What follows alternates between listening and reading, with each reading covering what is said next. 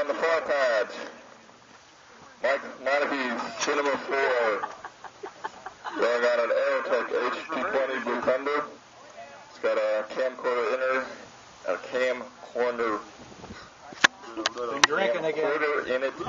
PerfectFlite altimeter, made at 400 feet. Pads selected, pads armed. Skies look good, going in five, four, three, two, one, ignition.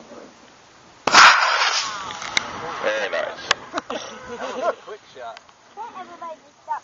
Three, two, one, ignition.